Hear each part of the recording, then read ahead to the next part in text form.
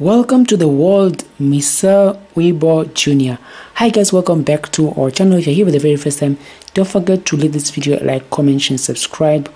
Olympic world champion Shaunae Miller Uibo gives birth to a son. Hi guys, welcome back to our channel.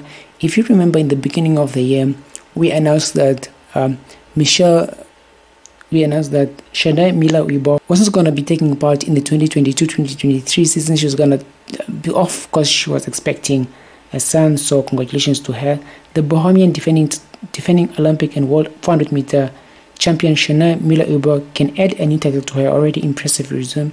She's now the proud mother of a new baby boy. Congratulations to Shaunae Miller Uibo. Miller Uibo and her husband, Estonian decathlete Maicel Uibo, made the announcement of the birth of their son in a joint statement post on Tuesday.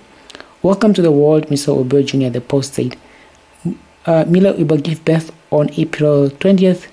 The Bahamian said to miss the track and field season, enjoyed a phenomenal 2022 season which saw her win 9 out of 10 400 meter races, including claiming her maiden world championship title in Eugene in July, in July 2022 as well as the gold at the NACAC Championships in Nassau in August.